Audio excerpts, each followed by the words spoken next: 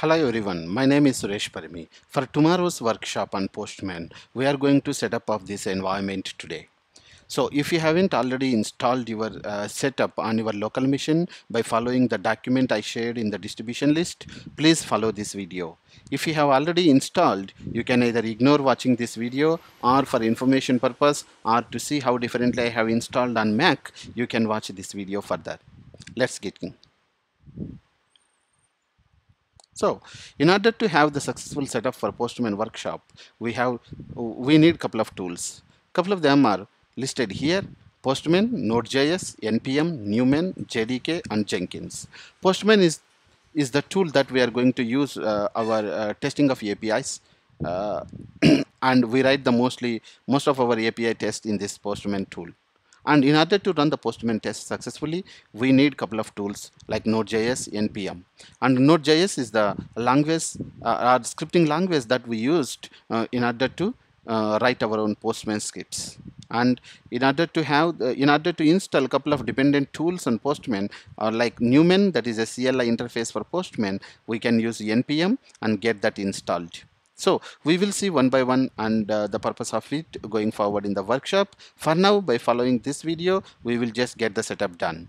So let's move on one by one to install. So in order to install Postman, go to Google, download, type download Postman.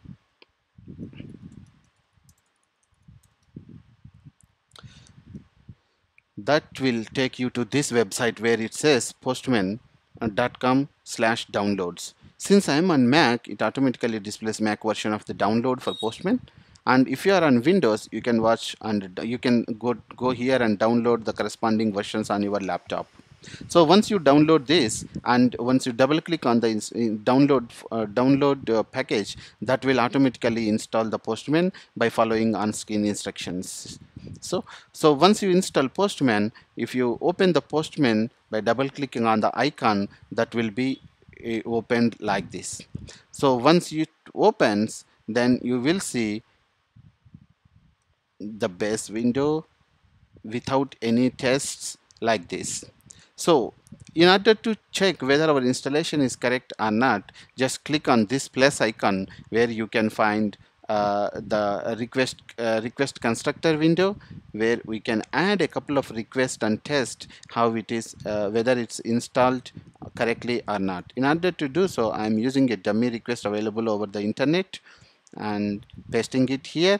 This this website gives us a couple of APIs to practice uh, in real world. So you can grab this API while you are on workshop and you can practice on your own after this workshop but for the installation verification of this postman we are going to use this and we are going to select the verb as get.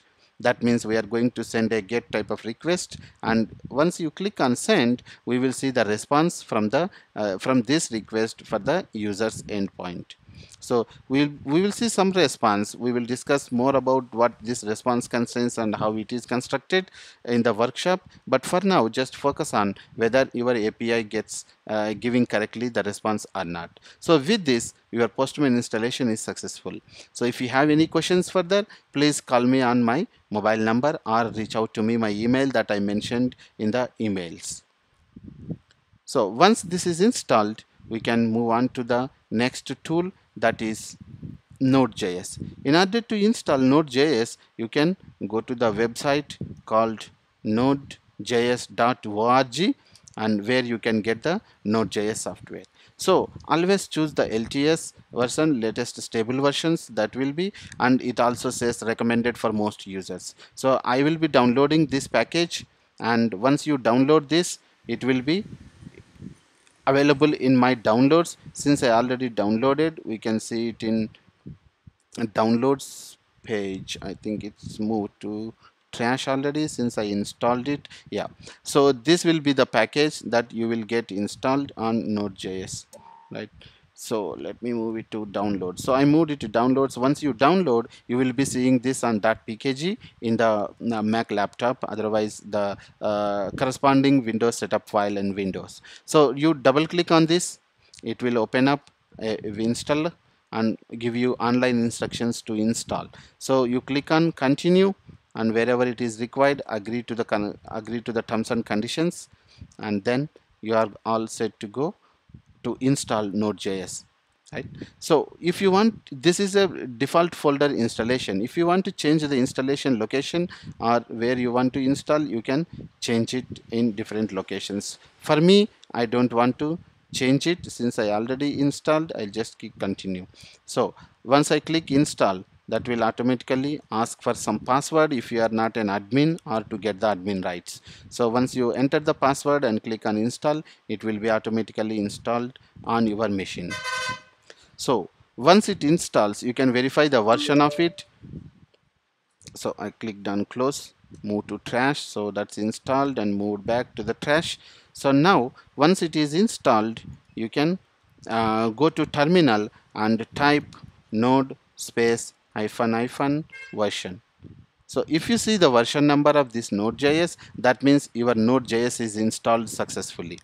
If you are not seeing the version number that means there is some inst installation problem on your machine and you can uh, let me know the error that we will we will fix it today or tomorrow in the workshop right? So once you install node.js automatically the npm will be installed on the latest versions. If you haven't uh, if we will we, we are going to verify this npm installation as well. If it's not installed automatically you can install it manually by uh, following like node.js and for now we are going to check whether npm is installed or not. Just type npm hyphen hyphen version right? So if you don't see the version number again for npm that means your installation is problem right? So uh, once this is installed uh, you can automatically move to the next tool for installation is a Newman. So Newman installation is simple. Using the Newman Node.js package package manager npm install hyphen g Newman. Here G stands for global. That means this Newman will be installed for all the users with admin privileges on this machine wherever you are installing. Right. So once you hit enter, that will grab the latest packages from the npm available uh, in the uh, in the installation so that will be proceeded if you, you, can monitor the progress once this is installed we can also verify the commands right? So now since I don't have admin privileges it says I don't have some permissions. So in order to do so sometimes you you sometimes you may not find right permissions for installation of any softwares on your Mac. So if that is the case then switch your users to sudo minus sudo space su space hyphen and then type root so it will ask for your current password enter your uh, mac password that you use now sorry yes, sudo hyphen space hyphen this that will be uh, giving me the uh, root access so once that is in root access now you can install sorry you can install newman again using npm install hyphen g newman so now it's getting installed successfully. Once this is installed you will be able to run a command to see whether Newman installation is successful. Let it run and then we will um, we will verify the installation. Yes it's it's ran and updated. Since I already had Newman on my machine it just got updated. Otherwise it will show installation is successful right? So now once this is installed I want to check new I want to check whether this is correctly installed or not. Newman type run hyphen h. Hyphen h stands for help and that will list all the commands. Those are uh, available to use along with Newman. That means you will be able to see the Newman installation is successful. If your installation is incorrect, you won't see this command. Instead, it says uh, Newman cannot be recognized. Right. So that's how we install Newman. Right. So if you have any questions further on this as well, please reach out to me on my mobile number or my email. Right. So let's move on to installation of JDK and Jenkins. Why do we need these two? So in order to run our Newman scripts or Postman scripts on Jenkins server or using remote Jenkins, we need uh, to install Jenkins. In order to install Jenkins, the dependency is the JDK. This is a Java development kit that we can get it by installing by following through Oracle documents. So you can go to Google and type download JDK for Mac. If you are on Mac and if you are on Windows you can find that Windows corresponding version. And just follow the downloads version here by uh, finding Mac OS 64 and you can download this .dmg package. And if you are on Windows definitely you can find 64 version or x86 and you can download .exe files. Once you download either of these and double click on that uh, download .exe files for Windows or .dmg package for a Mac OS you will be able to install along with the uh, admin privileges so if you don't have admin privileges it will be uh, you have to switch to root user like I did here right? So if you don't switch again after all the installation it may or partially if it's trying to install and it says you don't have access. So instead of that you better switch it back to the root before even you start your installation right?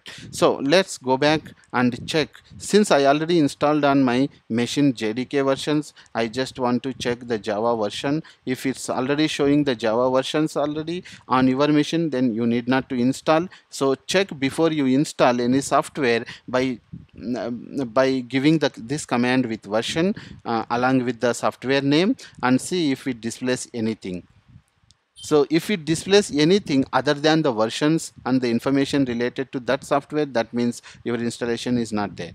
So if you don't have installation please go ahead and install java or jdk and if you have already installation you can skip this installation part right? So for me i already installed java. So i'm showing it on uh, um, this command. Uh, by, by issuing this java hyphen version I, I will be able to see my uh, jdk versions. Once you install JDK we will be moving on to installation of Jenkins on local machine. But before you do that please make sure your JDK is installed successfully right? So uh, that's it for uh, JDK and uh, next one is for what's this? Jenkins. So in order to use in order to download Jenkins for Mac or Windows I have the um, system open. I have the website open. That says jenkins.io slash download where you can get it for Mac. And if it is on Windows you can go to copy this and go to another website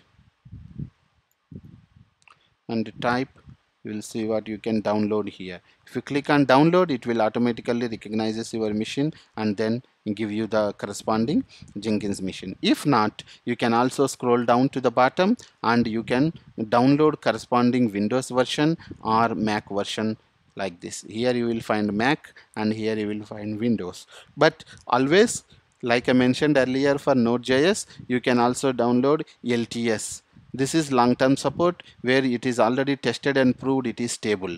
So you can download these kind of versions for most of the softwares and have it on windows or mac.